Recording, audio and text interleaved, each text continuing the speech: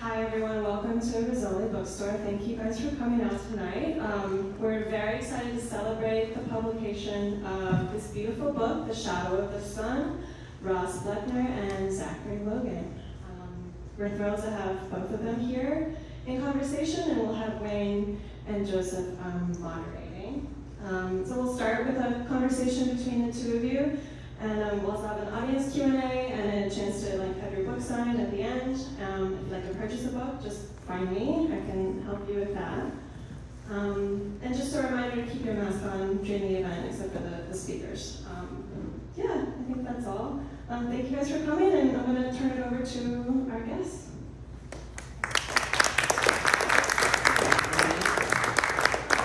Hello. Uh, thanks, Christine, and thanks to everyone at Rizzoli here for putting this together and uh, promoting it properly. It's been really great. Um, now, some of you might know about the two-person show, uh, Zachari and Ross's show at Wave Hill, which closed in, in August. Yeah, we've had great reviews and, and a great response all along. So if you don't know about that, please go to the Wave Hill website and have a look. There's great documentation there.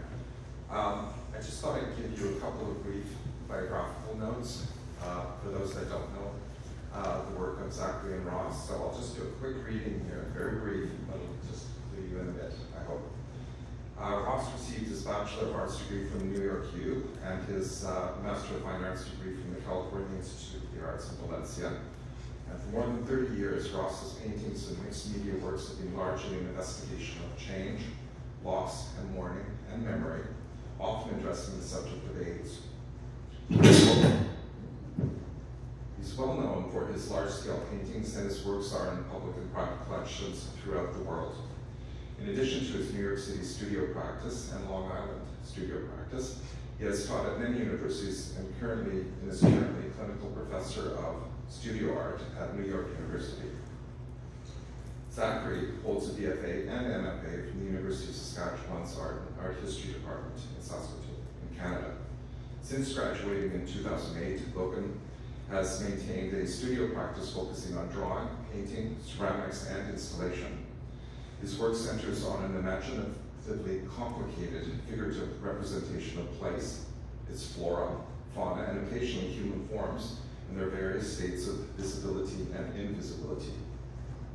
His work has also been exhibited widely uh, throughout Canada, North America, and uh, Europe, and in India. His work is found in many public and private collections. So I think we'll start this evening um, by asking uh, Ross and uh, Zachari to talk a little, about, a little about their studio practices and how they met, which I think is very important, of course, and how they came to realize early on that they shared an exploration of memory, loss, and uh, notions of presence and absence in their studio practices, and have a particular chemistry that really is quite remarkable allows them to make collaborative works, some of which you'll see um, this evening on the screen. So please join us in welcoming them.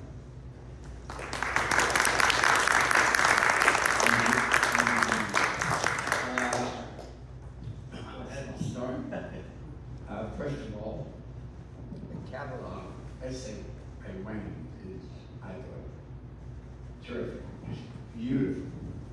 Uh, I was so impressed with it. Uh, it really started out um, with Zachari asking me to be in a group show because he was curating a show in the building where I had a studio on 26th Street, and he heard that I was in the building and he kind of came to visit me. No, no, what happened was I went up to the wrong floor and I saw Ross Bleckner's studio. And I thought, hmm, just the sign on your door. And I went back down to Daniel and I said, do you know Ross Bleckner? Well, can you get me his contact? Scott, yeah. But it was this beautiful New York moment, chance.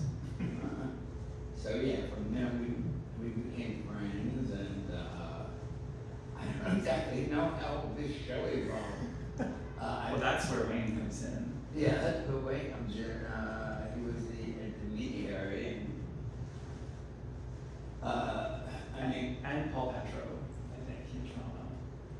I'm Paul, Yeah, yeah, because I guess I had a show in Canada, in Toronto. Yeah. My memory is like one of uh, Yeah, my work is always, you know, from the 80s. Uh, I had been doing abstract painting before that, and sometimes in, in uh, life. Mm. Talk. Um, well, I mean, I've known about Ross's work um, since uh, my first year at university when I was introduced to it by um, one of my uh, favorite people, very important uh, prof, um, Alison Orland. And I um, was instantly enamored with it, um, in part because of the way the work sort of deals with the body, with embodiment. Um, and also this, the scale, there was this sort of monumental scale, um, uh, and the work that you were doing was on a similar scale to a lot of your contemporaries, but the work felt so queer and so intimate, even though it was on this um, magically large scale. Um, so it just really, really stuck with me, uh, really uh, touched me from the very beginning. And then, you know, I was curating the show, and, and yeah, as chance would happen, I went up to the wrong floor and saw your name there, and then you just responded so beautifully. Um, you just said, yeah, sure, I'll be in your show. And then you sent me another email and you said, I just Googled Saskatchewan, where is that? And, and what is your studio like? And what's the weather like? And come see me the next time you're in New York. Well, It was really really, very fascinated by Agnes Martin. yes. and the whole, uh, I guess, uh, mystique around where she comes from and who she is, and, and lands, basically, she's a landscape painter, Yeah. uh, and a kind of Zen landscape painter, and I loved that idea, and, uh, I was kind of curious, uh, if I'm gonna travel to go to places that. Remote and exotic to me. And that seemed very exotic to me. But uh, what I was going to say before is that uh, af- making abstract paintings for a while, uh, you know, there are things that come in, you know, you, you also live in your life and you live in a world. So living in the world and at that time, you know, in the eighties, in the eighties epidemic was kind of full, full blown. Uh, in New York, they kind of, I realized that there was a kind of systemic fracture in, in the way we lived and what, what we feared and what we thought about. And our idea of industrial optimism had now been taken over Right. by the fear of early death. And I think that created a big shift in my thinking and my practice, the idea, uh, the fragility. Yeah, and that was something that I um, responded to in your work, um, and it's something that's always has always been in the foreground um, of my own work. Even when I'm thinking about materials, I think about fragility, and you know the, the drawings are massive. They're made out of very very delicate materials. They could just dust off, and they're just pinned to the wall, and that's really what that's about.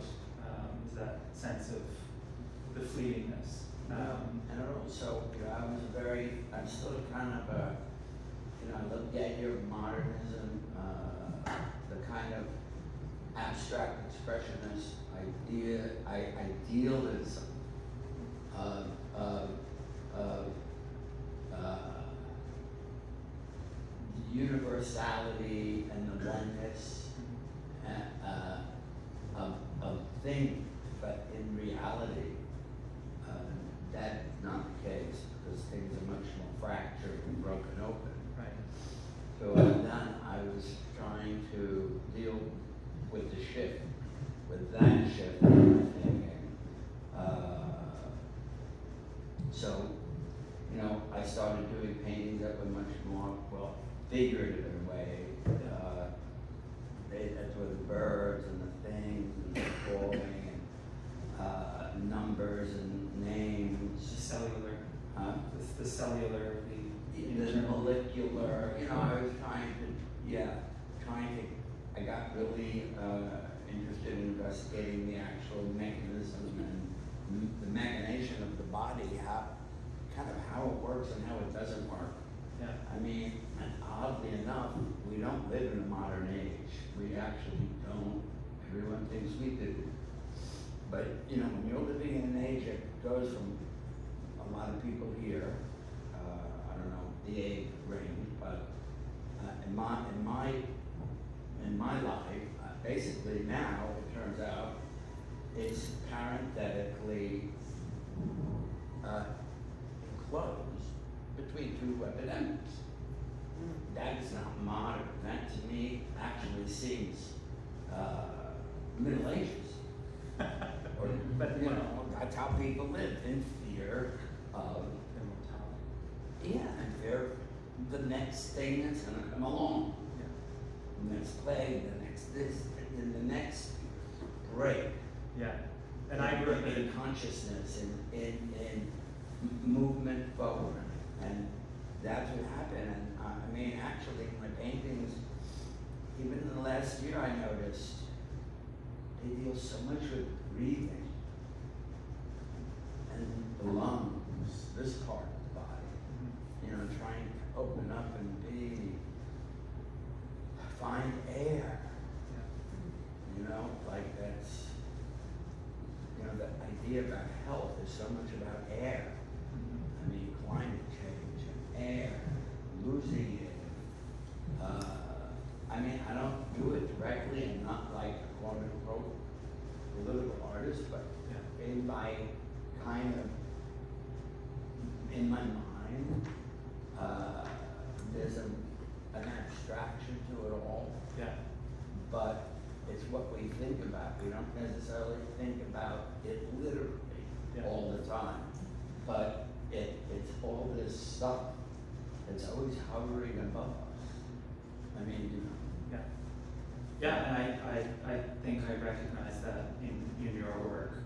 But it, I grew up at a different um, timeline in the um, AIDS epidemic. Um, and I, I think I, I internalized it in a, in a slightly different way, but I also uh, came into my own um, in terms of my studio practice and imagery and, and thinking about what I wanted to make and what I wanted to say. Um, and I was, I've been, always been very interested in, in the art historical source, which you have as well. Um, but I just, I feel like I did not see myself uh, or queer bodies uh, represented. And I, but I definitely did see that in, in your work, but historically I didn't see that. So the earlier part of my practice, which was sort of absorbed by the use of my own body, sort of presenting myself as these sort of um, heterosexist or uh, accepted masculine tropes. Um, there was something in, in seeing your work and the way that you work with materials and, and imagery and this iconography that you repeated and, and, and still continue to repeat, which totally admires me and fascinates me.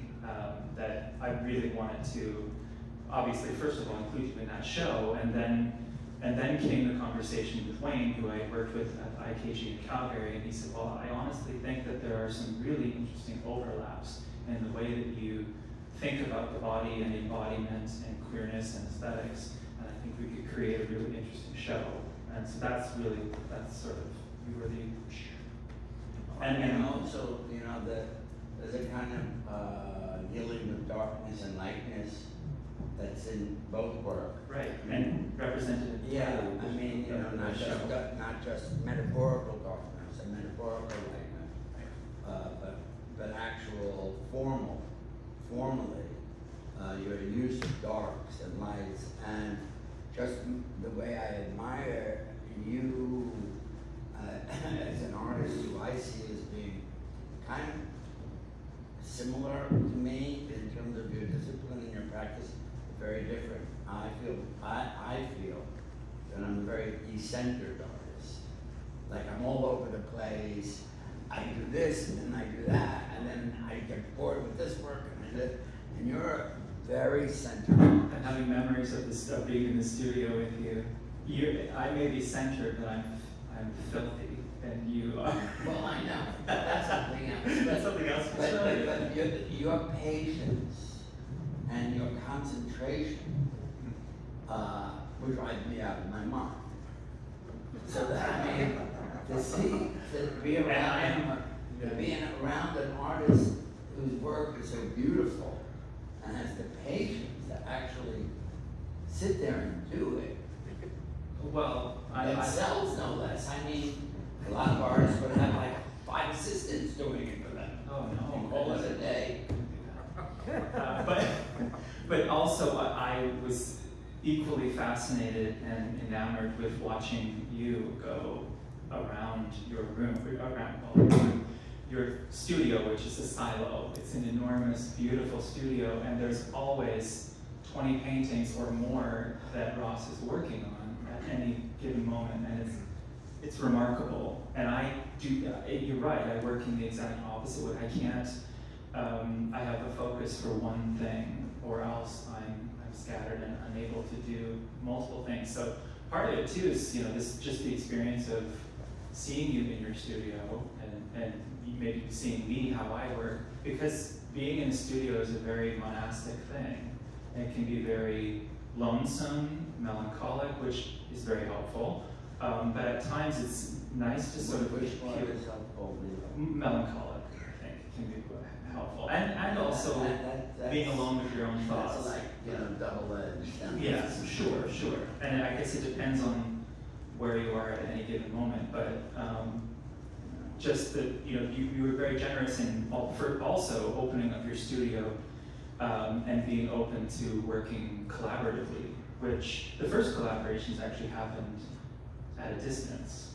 So Ross had sent me uh, two pieces that were um, related to a series of works that I uh, am also very uh, in love with. And so I was, first of all, shocked that I was asked to sort of add to these works. Because if you talk a little bit about the New York Times obituaries work and the, the New York Times obituaries work that you, the collections, and that um, you had done a series of lithograph uh, with um, Polígrafa, right? Yeah.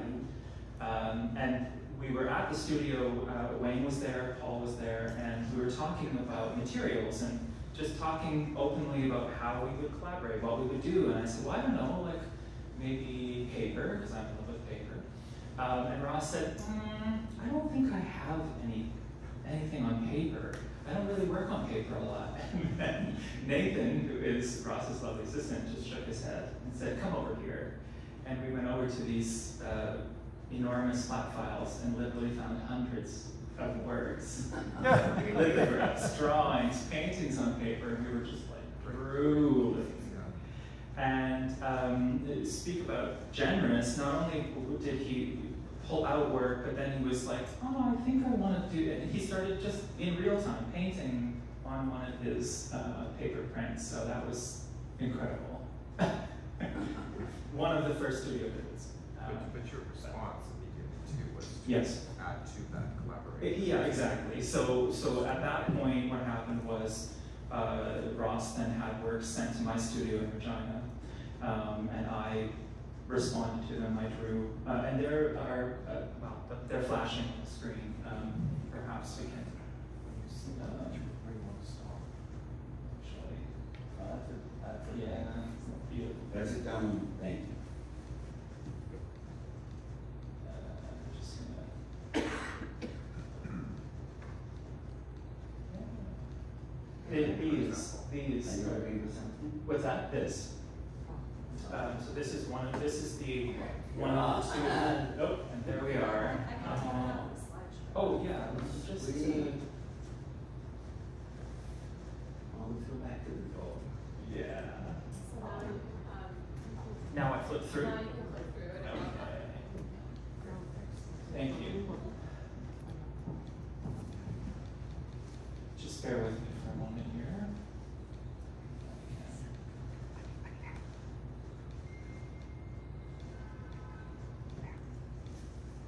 This is some of the The work book, that was in the show. Yes, And that's yeah. in the book. And in the book as well, yeah. Um, so this was the, the very first set of uh, collaborations that we did from a distance um, of, of our It's studios. hard to see, tell what it is, it's uh, Yeah, basically, so- I take a page from the New York Times of obituaries and I, um, made it like, uh, silver, you know, like, like a mirror. Yeah. And I cross out the date above, as you can see. So it's kind of like you're looking at this print and you're kind of vaguely seeing an image of yourself, Yeah. but the, the date, you know, I'm just like, yeah. Right. So these showed up in my studio, and I just stared at them probably for three weeks because I was afraid to, or afraid, I needed, I needed to consider what I was going to do. And, um, and Ross sent me a note inside of a book that he gave me on one of my first studio visits, and it was with a, a sharpie.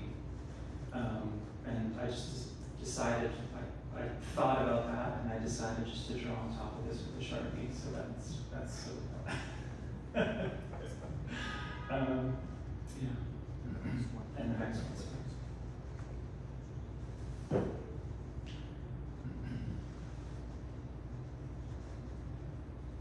So is that graphite on? Yeah, it's just graphite on. Um, Did you do that at my studio or did you no, do that? this was in Regina. Yeah. Okay. And so these were the first two, and that sort of sparked the idea of, of carrying this on. Um, Ross uh, liked the result, uh, and and then we were thinking about how we could do this, and thought, well, why don't I just travel to the Hamptons? and Ross was um, again very generous in having me come and stay there for a week, and yeah, and then we we just sort of. Um, I brought some of my materials to the table, and Ross brought some of his, and we stared at each other. We st- stared at each other for a moment and said, "Well, what are we gonna do?" and then, uh, he said, and he draws with his pastel. yeah, and then And I you, clean up afterwards. yeah. So this is where that comes in. at one point, we were both working at the same table, and Ross said, "Okay, stop, stop. It's too messy. too messy." Because my, my pastels are very messy, but I also, um, again, my focus is simply on the materials. I don't care what's happening in the periphery. Whereas um, I've seen Ross walking around his studio, he always has a thing of bounty in his hand. he always has uh, fruit in his hand. So, yeah. But it was, it, I, it, uh, it felt very natural, very, you know, in some ways very sort of zen, very, you know, we just sort of passed it back and forth. And it, to me, anyway, it felt like a, a conversation in images. Oh, the, the other thing is, it, it is nice to have, uh, people in your studio, I think. I mean, 'cause like you were saying, the, the melancholy and the aloneness. Yeah. The solitude, uh, I mean, I find that actually, it's almost like an occupational hazard. Uh, Melancholy? What? Or aloneness? No, no, you don't have to be an artist at melancholy. Oh, you don't. You, you art, uh, artists in their studio alone come sometimes get a little bit lonely. I mean, I, you know, I always say to the kids in, uh, you know, graduate school, where I teach at NYU, this is the most talk about your work you're gonna ever get. Eat it up. Once you get out of here, you're gonna make those calls and nobody is gonna respond. You know? Um, and it's tough. And I went through it and, you know, suddenly you're thrown in a room by yourself and, and after you know you've gone through this two years of everybody talking about all the issues around everything all the And there's silence. and then silence. Can you tell us uh, about the what? conversation? Can you tell us about the conversations that you had with each other as you're working together in the studio? I got it. Do you remember? Oh, at one point you told me to get lost. you said, okay, Zach, you take a break. You've done too much. Go to the Pollock Krasner house. Because it's literally down the block from, um, and so I did. It was great. Yeah, it was necessary. But when Uh, a piece, I mean, you're. Yeah, um, Is there a? Did you talk about art ever? Well, we did, I think. I think we did, but oh, I can't, I can't. You know, it's funny when you, when you're like in a studio making art, it's like, you talk about art a little, but it's, it's a little more utilitarian. It's like, We, we did talk. you talk about the actual, what are you making, how are you making it, the material. I mean, I'm very, I'm, you know, part, part of the way I work, I'm very interested in like the actual chemistry of it all, the materiality, the touching, and the touch, and the, the putting together and blending of different things. Uh, he sticks much more with a little tiny box of pastels with different colors, and to me, it's like to get all of that out of that little box, you know, is like kind of amazing. It's very condensed. Uh, Well, I- your studio is pretty alchemic.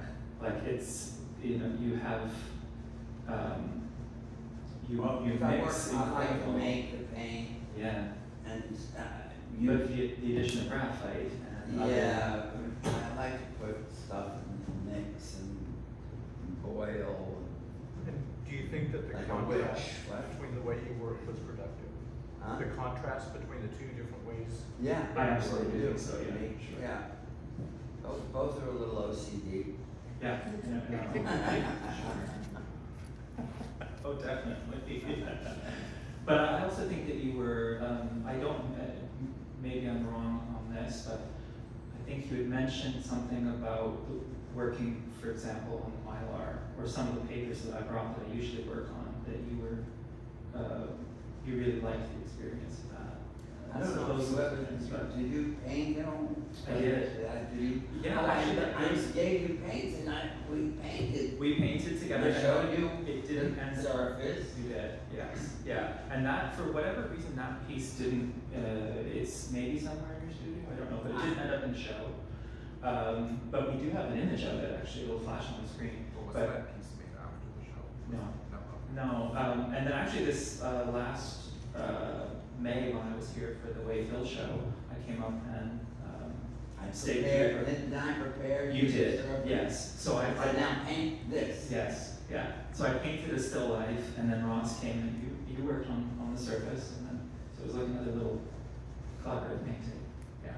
So yeah, we. I mean, the, the and the first part was more um, the materials that I regularly use. So you know, when it came time to um, do it again, I wanted to.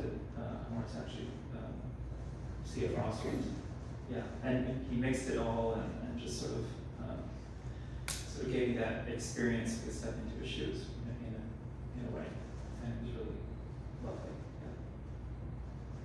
But talk, know, other than more sort of practicalities, I guess. Yeah, I would love to talk about the, the meaning of the art. Um, Okay. The why? the meaning of your art Like the the, collaboration. the collaborative works or, Uh, One thing that interests me a lot is the queerness that one can read into your works. Um, and to me, it's always seemed to have a lot to do with the kind of unabashed sentimentality that you allow in, which seems a kind of, you know, anti-modern gesture in a way. You know, melancholy maybe is allowed in modernism, but Well, Sentimentality melancholy, is- melancholy is a generalized term, I mean, you know, I mean, For you talk, feelings. you talk about Mark Rothko, I mean, he certainly wasn't gay, you know. But anyway, the point is, is that I feel that for me, uh, I've always been clearly, uh, ident- I identify myself as a artist, but what does that mean? What it means is that the way I feel the world, I feel is different from the way uh, my male counterparts deal with the world. I feel that um, in the old days, people would would sometimes say my work was kind of overly uh, sentimental, and I feel that that was part. I mean, I would just. Uh, I feel that a straight man would not make the paintings I make. Whatever it is about them, I don't know, but you know, Maybe in, in the eighties, they certainly weren't uh, like neo-expressionists. You know, there was another kind of, you know, it it it's not always. I know that there's a big queer thing going on now that's very liberal, you know, and specifically deals with uh, sex and sexuality. But I, uh, and for me, uh, it, it has to do really with, with a kind of, um, a, a sense, a sensibility, uh, a kind of, you know, a mood, a, a place that maybe you can read and maybe you don't read. Uh, but it's just our, our way of seeing the world is slightly different. And I think that when you describe that, it doesn't necessarily, uh, doesn't have to be literal. But when, when I look at all my paintings uh, overall, they look to me like a gay man paintings. and, and yeah, I think, um, my realization of what, you know, queerness is to me visually is realization that my body is nature. So part of it is, I guess, an ecological stance. I don't see a separation between body and land. They are the same thing. So it, it's also to dispel a notion that there is something that is unnatural versus something that's natural that can, you know, be, uh, come down to sexuality, but materiality, like it, it's just, um, so that's a main uh, focus, and I feel like it's something that I saw in, in Ross's work too, um, that he um, articulates beautifully in, I think, what Ross, or sorry, what Wayne described in his essay as sort, of slippage. There's always like references to nature and art history, but then they're shifted. And perhaps that shift is that sort of queer lens that you're talking about. I think, I think Joe's also saying that things have changed since in the day. The what? Right. Adam? But, but I think in the day, if the seventies and eighties, when that sort of sensitivity, that sensibility you're talking about, might have been used in the pejorative sense. It's kind of come full circle now, and it's actually a plus for one's work.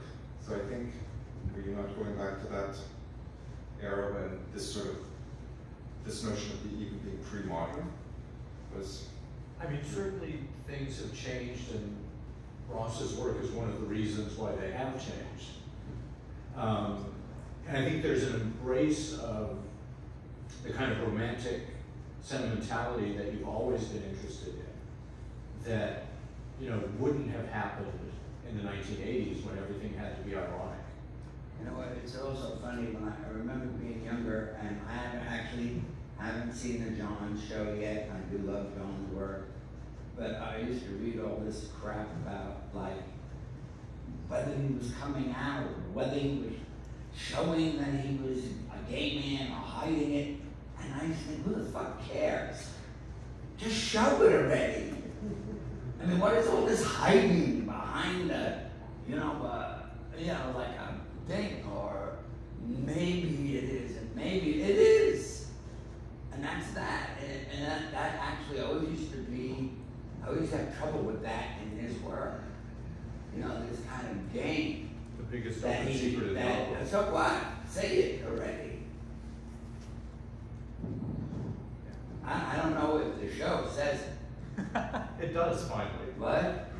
The, the labels on the walls do finally say that he is a gay man. Well, the work, of course, the labels say, the labels say everything but is it in the work? Uh, you know. I mean, I'm sure there's an argument that can go either way.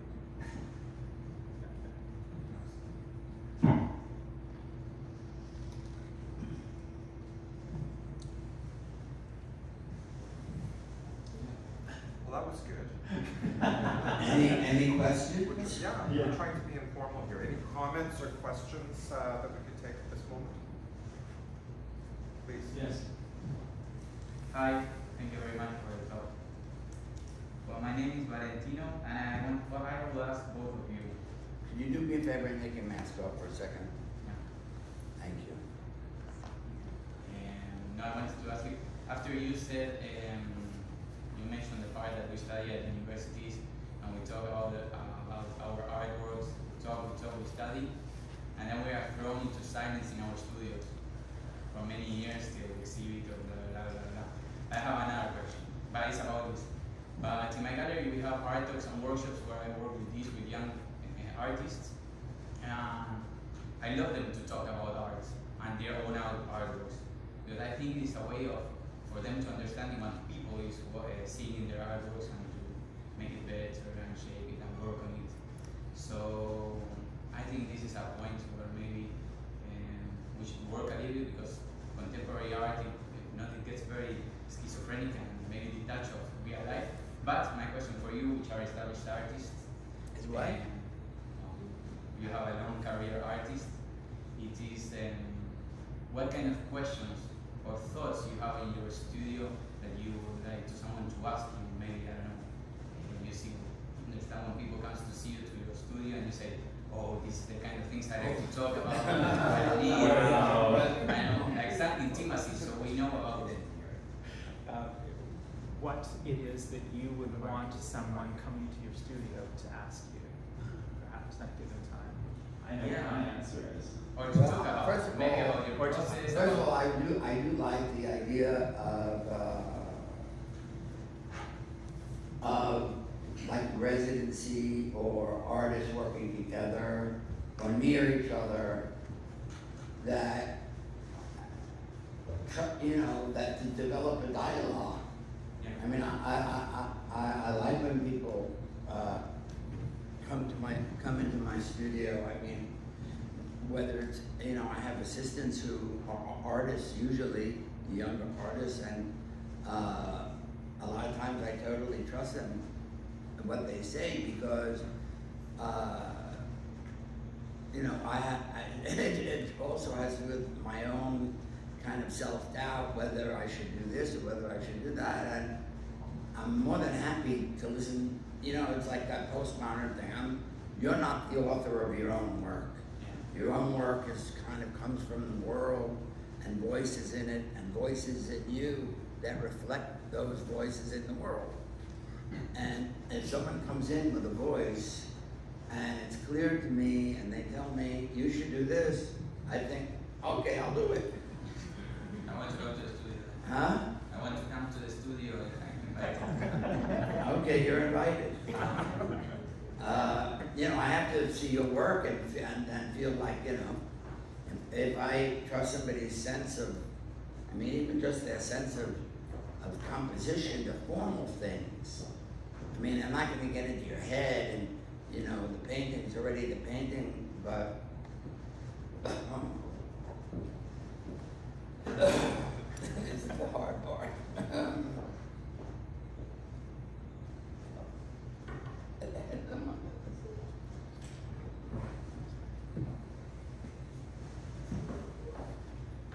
So Ross had someone that he uh, listened to uh, a lot, um, and that person is no longer with us. So it's fairly recent. Sorry. Um, and to answer the same question, uh, I, I, I'm sort of at a bit of a loss. I uh, had an idea of what I would, what I would ask, but my studio is pretty, pretty quiet. I don't often have a lot of people into my studio. I also, um, my husband and I made a conscious decision to stay in a small place um, so that I could have a lot of time and a lot of space and a lot of silence. So, um, but yeah, I think I probably also have a level You of ask self- him, you ask him to talk to? Yes, absolutely. Yeah, and, and Ned is, um, I mean, Ned is not an artist. He's a very intelligent person, very interested in art. but he's a bureaucrat, works for the federal government for, for this from. But he is the person I think that I, um, I ask the most, sure. And I, I ask him the same sort of um, uh, self-doubt questions that Ross um, articulated too. What do you think? I mean, that's of course one of the nice things about having, you know, being in New York, and, or a- an urban area where there, you know, where there's a collective, like in those buildings where there are a lot of artists, uh, uh, I mean, ultimately you end up making friends with, with artists and having, you know, kind of uh, dialogues with people. Uh, I think that's one of the, you know, one of the nice things about and then sometimes it gets to be too much and you have to, you know, kind of separate yourself and just focus on, on, on what you want to do and, and have no structure. So, you know, you have to kind of gauge it, you know, when it's good to hear, uh, you know, talk, uh, and advice, and how much advice you're willing to take. I mean, in my case, I think, I always say, take all the advice I can get. Are you an artist? Uh, I write. I paint very bad, but I just uh, have an art gallery. But in Buenos Aires, so you're always all invited to come. I'm just kidding about it. Thank you. Uh, when I visited the exhibit at Wave Hill, I really loved that beautiful wall painting that was sort of going around the Yes. Did you both work on that, or did? Uh, no, that was, um, so that was a site-specific drawing of, um, the, the graphite. Taking it uh, down, down? The graphic? Uh, no, no, so this was, this sort of cascaded, um, all the way across, uh, through the doorways. Yes. Um, and it was called, uh, nomenclature two, and it's, it, it's a practice that I started in the very first exhibition I had after the, uh, pandemic had started, when it was sort of in, its midst, and it's just a sort of simple gesture of every show I've done since, um, has one of these wall drawings, and they're, they're simply made to then disappear, so it's just a gesture about time and space and So you did that when you were down at Wave Hill for the week? Yes, yeah, and so it was a, it was also in a direct response to the work in the room and the Yeah. structure of the room and the color. Um, I use graphite because uh, with all with those drawings all the time because um, the way that the graphite changes over the day, also the way that it changes as your body moves across the drawing. So it's it's sort of endlessly changing because of the sheen of the graphite. But it's also something that's in work. Material. It's just a, it's, it's a seductive, beautiful, um, I've always, Yeah. I've always used it. You know, I started out graduate school, I somehow found it, and I've always kind of mixed it with things and paint and made, made paint out of it. Uh, it just, it just, you know, I use a lot of, uh, iridescent, uh, uh, and mica material, just because of the way that it reflects light.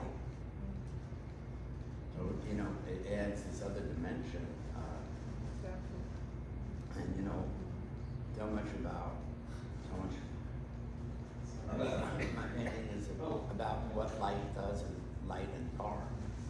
Well, bringing light out of dark especially. I mean, it's kind of a corny way to put it, but in the end, that's what it is. ooh. Oh, it's there. Did I? There it is. I'm in there, someone's coming. Sorry. Hello.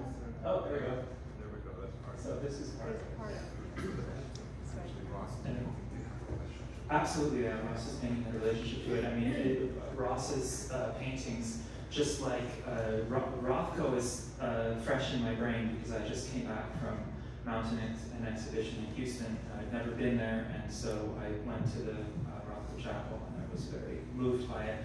But like Rothko, Ross's paintings are an experience. They're a physical thing. You have to be in front of them. I mean, they they reproduce beautifully, but they also they have another life in person, um, which I think we're all starved for seeing things in person after uh, what we've all um, been through in terms of uh, shutdowns. Um, so that was another part of the gesture of that drawing and just continuing to do it uh, until I stop. Thank you. Uh, Naushad Kadir from Sri Lanka. I just wanted to ask you about the green painting that you had. What About what? Me? Talking to him? Yeah. The green painting? Yeah, can you?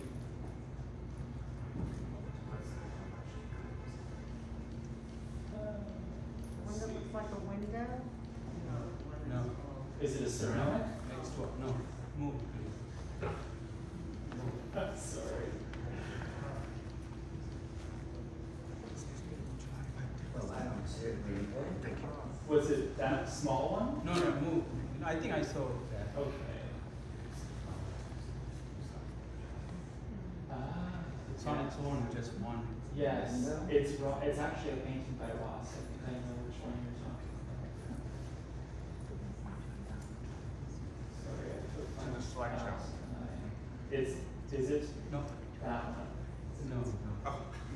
Anyway, the green paint. Uh, Okay, so um, I, I don't know which painting you're referring to, so I don't know if it's by me or Ross. Both of us did green paintings. Yeah, but if you play it, I think we can figure that out. Okay, yeah, I think it's, I think it's on a, is it on a plate now? It's just going through, right? Oh, all right. The other would be- So maybe we'll go to the next question and come back to yours, yes, okay. I think he's talking about this one.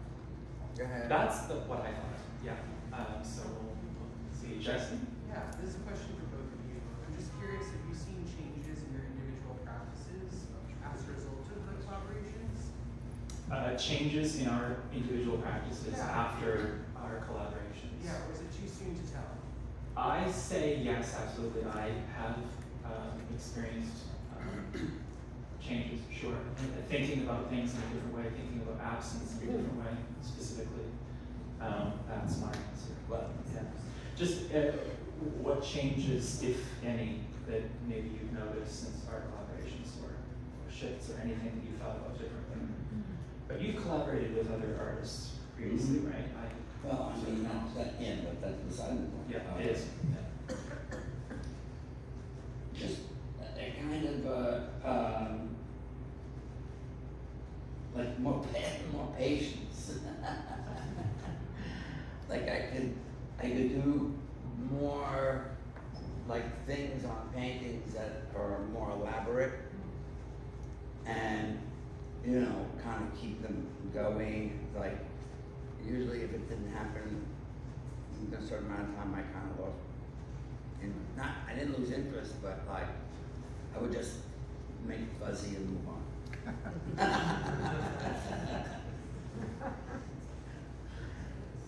Blurry. There's a question here. Quick question. Um, I want to ask Wayne what, what your experience of working on the show was and how it, how that whole, how this collaboration started with you as well. Well, um, as Ross and Zachari said too, it, I think I saw a, uh, a relationship there. There's a, a sensibility that's that's at work. That is, I thought was interesting because it was intergenerational. Not that that plays such a role, but it does in terms of the experience of art making. But The fact that you're slightly older than than uh, Zachari. Just slightly. So- I know, just slightly. That's what I always think. Because it, I need this like a whole nother. I know. but anyway, that, that was sort of the starting point, of course. Um, and I think the fact that I think first time I met you, Ross, you were just uh, you you were very blunt as you can be. You said he can draw. I want to draw like that. Not that you really do, but you know, there's a certain finesse to you know Zachari's drawing, that very detailed. That's a lot, that's a lot. Ah, yeah, I was actually just, yeah. That's okay. a sculpture. So we'll come back. Yeah, it's a sculpture. It's a It's a ceramic piece. So, um, yeah, but that was really a starting point. And then, and then just spending time with Ross, going to the studio, uh, thinking about a collaboration, because I think that, that was just coming about at the same time. And eventually, seeing that first piece, the New York Times obituaries piece, the two of them together actually. Thought, oh my God, magic, fantastic. So, so it just, of course, led to looking at other works by Ross. How far back do you want to go? What's available? It's, you know, all of these things come into play. And Well, then- you go back to the seventies tomorrow night. I know, tomorrow night, uh, Petzel Uptown exhibition with Ross's work from seventy-four to 78, maybe. Very interesting. Paintings from the seventies. Paintings with them, actually. So anyway, we didn't go back that far. We looked at, uh, you know, we spent time in the studio. Um, of course, the, the show was still coming together when uh, Ross came to Canada, to Saskatchewan, in the middle of the middle of the West. Um, and we sort of informed him about Emma Lake. There's this uh, prestigious, uh, famous uh, artist residency that was very active in the 50s, 40s maybe, started in the 40s, 50s, 60s. And it was a real connection between uh, the New York School and, and uh, other artists that came to this retreat in Emma Lake North, in northern Saskatchewan, a beautiful natural setting. And a lot of very spiritual threads came out of that uh, long-term series of uh, residencies. So we took Ross there to just have a look, to kind of think about this legacy. That added to the show as well, and what we would then bring to, to Wave Hill. And uh, uh, Jennifer McGregor is here, curator that we worked with right there at the end. Uh, and, you know, she saw the same sort of uh, relationship, you know, between uh, the two artists through their work and the ongoing work that really um, continued to, you know, uh, evolve. The exhibition changed until it was uh, uh, finally, you know, presented here in New York. It uh, changed again. I presume it would again if we showed it somewhere else. So, um, So it was a really triangular process, the kind of selection of works and the, when did the venue kind of come into the, the whole project? oh, I think uh, Zachari had a residency at Wave Hill. Okay. Yeah. And It was uh, actually, um, on, on invitation. Ah, yes, Julie Saul. was very instrumental Exactly. And putting me in touch with Wave Hill and. with Jennifer, yeah, and- yeah. Yeah. So really, it's, it's, it started there. It's a wonderful thing. So thank you, Julie. You're really integral in that process, and Jennifer, of course. Yeah. So it, and then of course we had time. You know, uh, the the panic and the trauma and the stress of the uh, of, of COVID came on. So we had just a little more time to think about how we're going to write about all of this, and uh, even to think about the fear and trauma that's still in this room, given that everyone's masked. And there's some level of stress that, what does that mean, you know, for, for the work that we're looking at, both from most of the works from the last 10 years, I would say. A lot of it is more recent though. So there's a lot of thinking up until the presentation of the exhibition and the kind of public relations we had with, with press, thinking differently about the work because it's, uh, we have that time to uh, see it evolve, evolve and see a relationship evolve as well. So. So, sorry, to go back to your question about that, about this piece. Um, so it is, it's a, um, a sculpture, it's a ceramic, um, essentially a frame that, that frames my own hair. So, um, and it, it is a, a, a reference point to Victorian aesthetics and the idea of a memento mori, basically.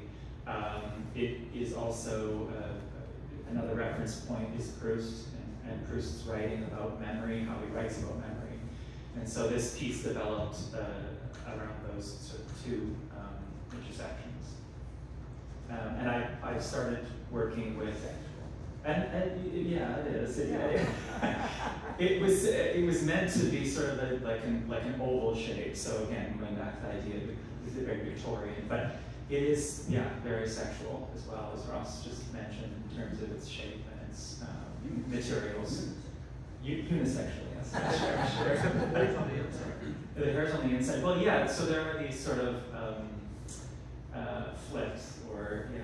Um, um, but that uh, and the title is too long. Um, you see it in the, in the catalog. the title in the catalog, but that is is the uh, the meaning of the work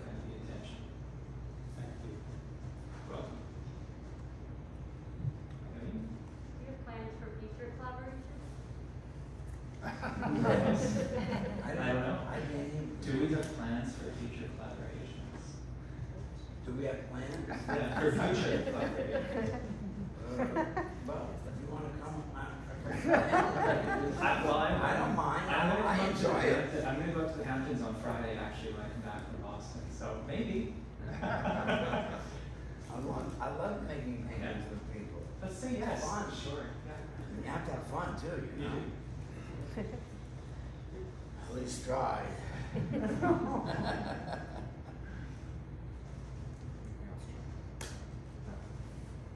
Well, I, I think we'll sort of call it a day, and maybe, uh, please join us for, you know, book signing and uh, have a look at the book. There's also a collaborative print edition here that is really quite wonderful and has the same kind of magic, in my mind, as the sort of, you know, so-called original collaborations that you've seen in the slides here. That's here on the left-hand side. Also, um, as an added bonus, there is uh, Zachari's first book of poetry. And uh, I don't know, do you feel like reading a piece? Yeah. What? Yes. Do, okay, do we? Do you mind? You No, no. I'm, I'm fine, yeah, yeah. Okay. Uh, what mood are we in? Melancholy, bit of Oh. fear and trauma, but Okay. less so now. Okay, well, I've got, I've got one for you. Ooh, Okay, I'll read two, because this one's, yeah, okay. No small crime. A white moth lands in the middle of my palm, filling the center of it, dancing in a slight shift. One left-sided limb flits back and forth on either side of my lifeline. Antenna above her cloth wings wave like grass. She must feel the warmth of me like the sun on a dark-colored stone. I examine her, note the slight movement for the intake of breath, the tiniest of implosions. Moths don't have lungs, I learned later in biology class, but tube-like openings called spiracles. She is enormous, beautiful, a fabulous queen moth Liberace.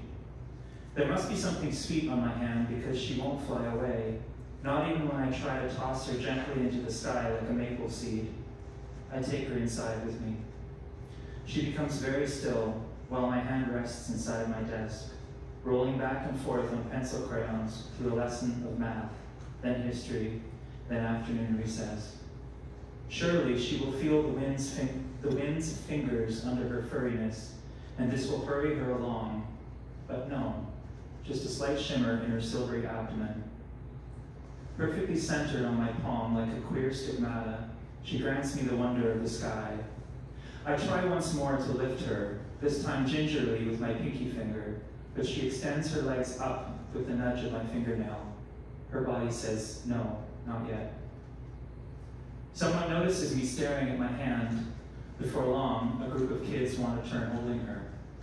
As a circle of eyes grew exponentially, I try to explain she does not belong to me.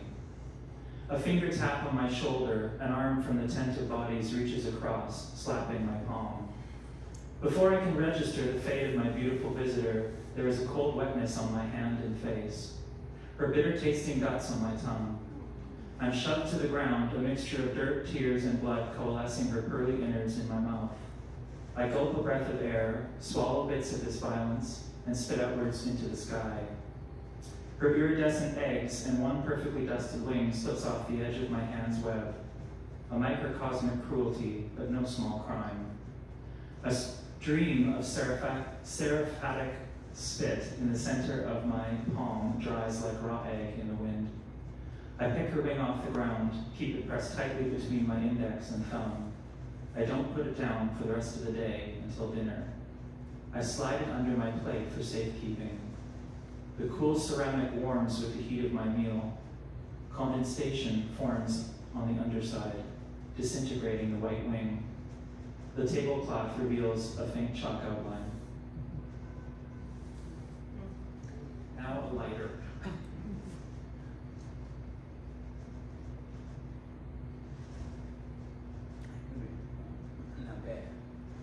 Four years before it was legal. I asked you to be a prop for my drag performance of Raspberry Swirl. I fed you an apple. The following week, we met for coffee at the Broadway Roastery. We talked about music, I learned you had Tori Amos and Joni Mitchell in your CD binder.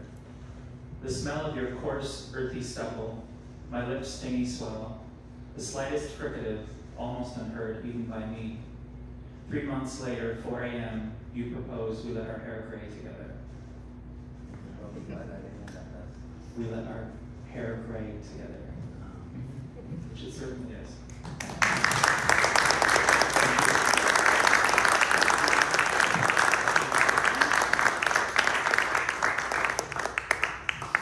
You again, Ross and, and Zachari, for this great presentation, great discussion, and thank you for everyone who presented questions and observations and showed up tonight.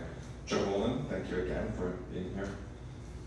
And uh, please join us here at the table if you if you're able to uh, purchase one of these items. Thank you.